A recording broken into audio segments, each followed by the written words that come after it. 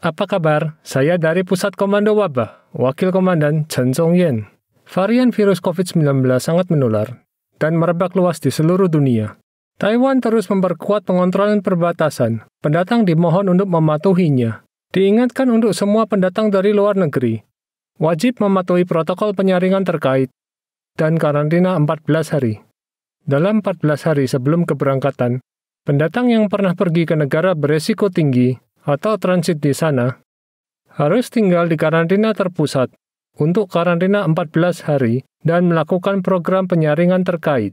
Terima kasih untuk petugas medis garis depan dan kerjasama semua orang dalam protokol pencegahan. Mari jaga kesehatan bersama.